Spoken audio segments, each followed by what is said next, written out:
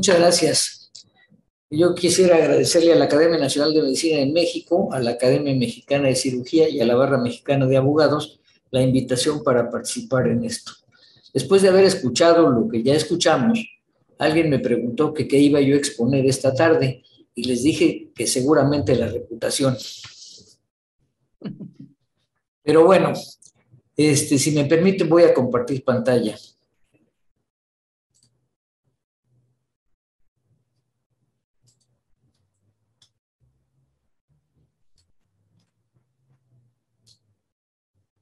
Bueno, en primer lugar quisiera mencionar, así como antecedentes, que la regulación de las normas oficiales mexicanas se encuentra en la Ley de Infraestructura y Calidad de la Calidad que fue expedida en el 2020.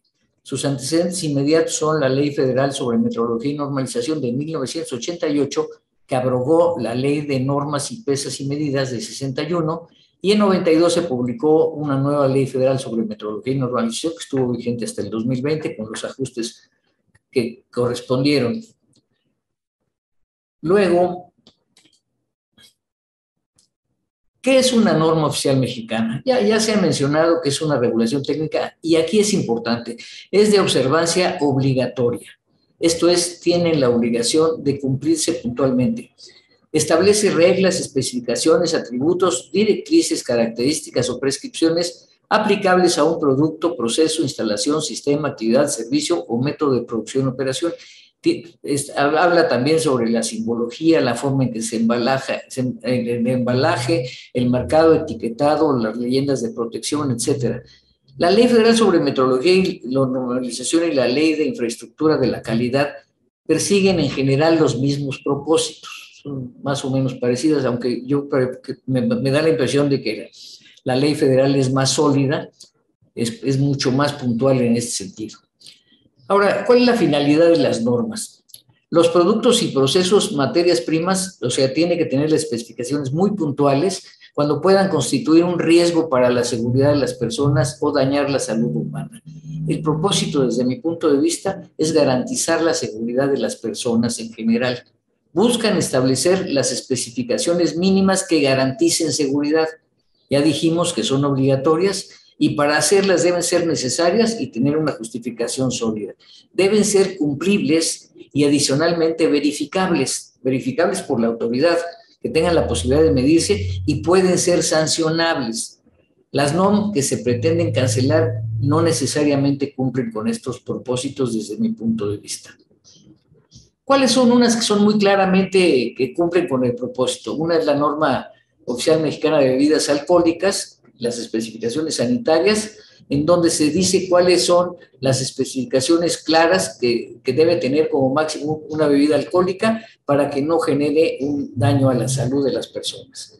La otra es una, dos, dos ejemplos nada más, la de sal yodada y fluorurada, sus especificaciones sanitarias, que ahí dice puntualmente qué es lo que deben tener, tanto de yodo como de flúor, y esto es absolutamente verificable y adicionalmente medible.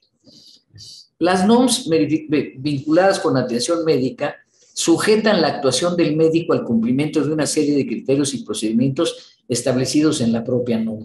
Esto es, el médico en esas condiciones tendría que cumplir. Sin embargo, si revisamos estas normas que son susceptibles de cancelar, tienen una mezcla entre situaciones de orden preventivo que puede cumplir la autoridad u otras personas, diagnóstico, tratamiento y una serie de situaciones que son difícilmente verificables. Por otro lado, me da la impresión de que restringe la libertad prescriptiva del médico.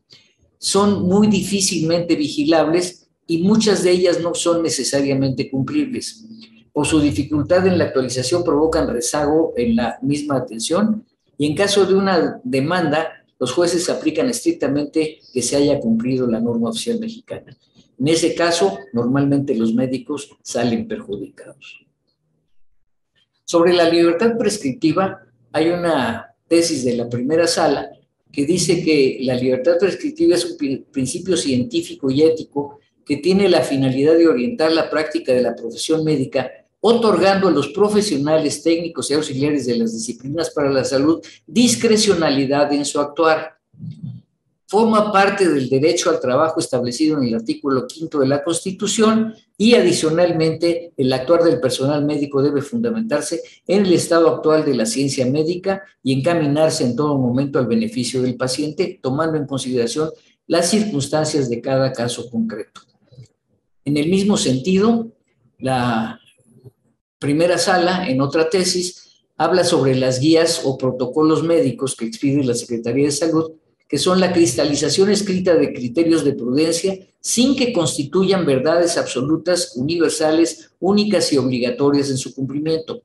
Estas guías o protocolos no limitan la libertad prescriptiva del médico en su toma de decisiones, por cuanto un buen protocolo es flexible y dinámico, siendo susceptible de modificación. Cabe incluso apartarse de él si el médico entiende, según su experiencia, que el resultado buscado exige otra terapia y su actuación se halle fundada científicamente.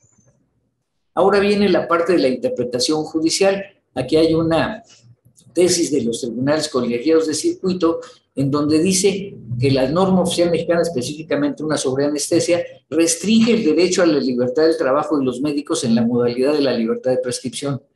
La restricción es, la, la consideraron constitucional. Es admisible es necesaria y es proporcional. Esto quiere decir que frente a una situación de litigio, la interpretación judicial va en este sentido y se aplica puntualmente. La propuesta de cancelación, desde mi punto de vista, generalmente se orientan a la prevención y no se inscriben en los propósitos de la normalización. No contemplan el procedimiento e infraestructura para la evaluación de la conformidad. Estos son muy difícilmente medibles. Por ejemplo, en el caso de la de hipertiroidismo señala hasta cómo se debe explorar el paciente. Esto es muy difícil de vigilar, muy difícil de, medir y muy difícil de, todo. No se identifican mecanismos que permitan comprobar su cumplimiento en virtud de que estas materias no son susceptibles de muestreo, medición o pruebas de laboratorio, solo pueden verificarse documentalmente. Y dentro de esas mismas normas hay una que me parece especialmente importante, que habla sobre los cascos de seguridad para motociclistas. Esta norma tiene una serie de situaciones hasta de primeros auxilios. Es una norma que hizo la Secretaría en su momento de Comercio y Fomento Industrial con la Secretaría de Salud y esta no me, no me parece conveniente eliminarla, en tanto que los cascos son productos que se venden, que deben cumplir con características que garanticen la seguridad de quien los usa y que son perfectamente medibles para ver si cumplen con las especificaciones que garanticen la seguridad de las personas. Y luego, en el caso de, las, eh, de la atención médica, pues, están las guías de práctica clínica que buscan establecer un referente para favorecer la toma de decisiones clínicas y gerenciales basadas en recomendaciones sustentadas en la mejor evidencia disponible a fin de contribuir a la calidad y la efectividad de la atención médica. Por último, el trabajo, ya lo decía el doctor Córdoba, para la elaboración de las normas que se pretenden cancelar merece mucho respeto y gran reconocimiento porque efectivamente participan muchas personas de gran conocimiento, de gran eh, conocimiento y tienen la mejor intención. Sin embargo, en su diseño no cumple con los propósitos de una norma oficial mexicana. Y por último, ya lo decía el doctor Matute, la argumentación que se ha mencionado para la cancelación eh, no es absolutamente correcta eso sería todo por mi parte. Muchas gracias.